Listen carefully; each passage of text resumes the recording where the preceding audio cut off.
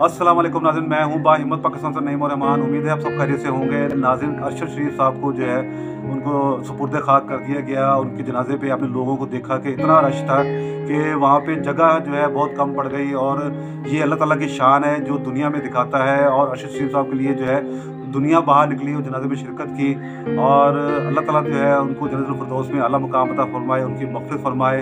उनके दर्जात बुलंद करे। शशी साहब की जो वालदा है, उनका जो है, मैं आपको उनकी जज्बात सुनाना चाहता हूँ, एक माँ के जज्बात। और वो इतनी बाहिम्मत खातून है कि वो डट कर खड़ी हैं। और मैं आपको बताता चलूँ कि एक माँ को अपने औलाद का पता होता है।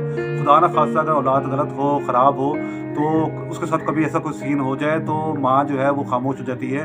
वो इस तरह से नहीं, वो मतलब यानी कि अपने जज्बात का इजहार करती तो ये वो माँ है, जो अपने औलाद को जानती है, जो अपने इस बेटे को जानती है। और पूरी कौम जानती है पाकिस्तान की हमने खुद उनके साफों को देखा है, उन्होंने कितने मुश्किल हालात में इस मुल्क में रहते हुए, किस तरह से उन चीज़ों को जो है, उन्होंने जो है वो यानी कि लोगों के सामने ला के रख दिया, लोगों को शूर दिया और अपना उनका एक तरीक़ाकार था प्रोग्राम करने का।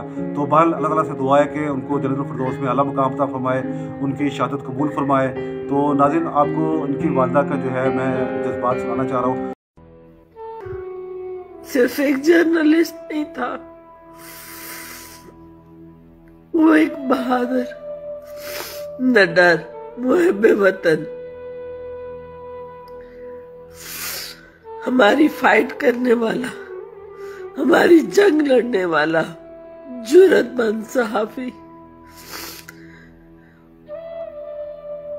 जो बरसों से डटा हुआ था मैदान में, वो जो सवाल पूछने की ज़रूरत रखता था। वो जो आँखों में आँखें डाल के बात करता था, वो मुस्कुराते हुए सबको एक्सपोज करता था। वो जो पूरे सबूत के साथ, पूरे प्रूफ के साथ इन्वेस्टिगेटिव जर्नलिज्म कर रहा था। वो अरशद वो अरशद जो हम सबका हम सबका बहुत करीबी था। वो अरशद शरीफ, जिसकी माँ ने पहले भी शहीद खो दिए, उसका बच्चा आज फिर शहीद हो गया। एक और बच्चा शहीद हो गया। अरशद, आपने शौर दिया।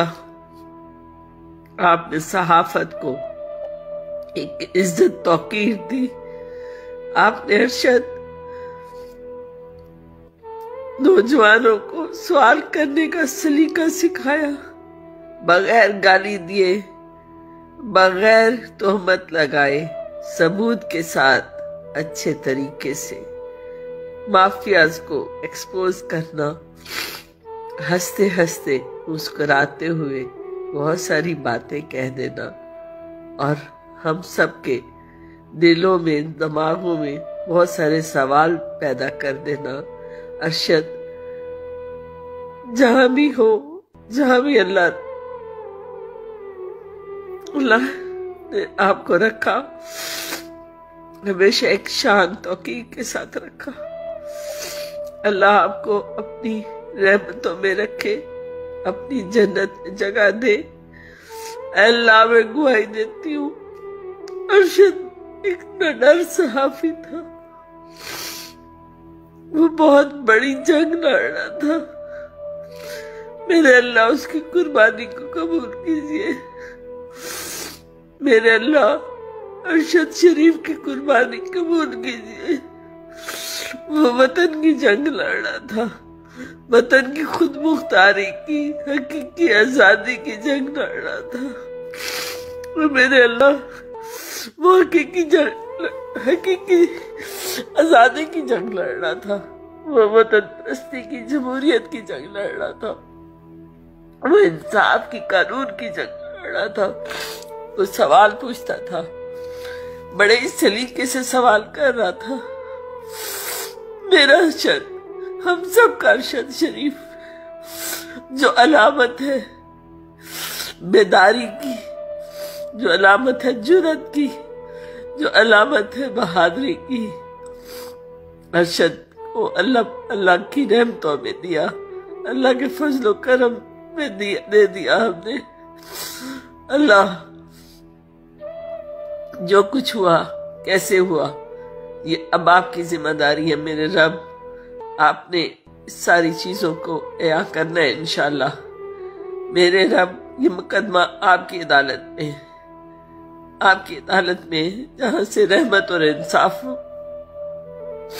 होता है, जहाँ से रहम की अपील की जाती है और वहाँ से रहम होता है।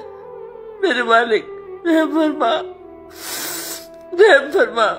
पाकिस्तान पे, पाकिस्तान के फाइटर्स पे रहम फरमा। मेरे अल्लाह, करम फरमा। सुम आमीन। तो नाजिन आखिर में यही मैं कहूँगा कि अल्लाह ताला जो है हमारे मुल्क को कायम दायम रखे। और हमारे मुल्क में जो शरपसंद अनासर है, उससे अल्लाह ताला हमें जो है महफूज रखे और अल्लाह ताला हमें ऐसे हुक्मरान दे जो वाकई सही मानों में जो है अवाम की खिदमत करें, अवाम के मसाइल को समझें, अवाम की जो परेशानी है उसको समझें, उसको कम करने में अपना किरदार अदा करें। जिस काम के लिए लोगों ने उनको इलेक्ट किया होता है, वो काम वो करें आके। बजाय ये कि अपनी दौलत बनाने में लगे हुए बजाय इसके कि वो आगे अपनी जो है सात पुश्तों की नस्लों के लिए जो पैसा इकट्ठे करने में लगे हुए हैं तो अल्लाह ताला जो है इन लोगों से जो है पाकिस्तान को महफूज फरमाए।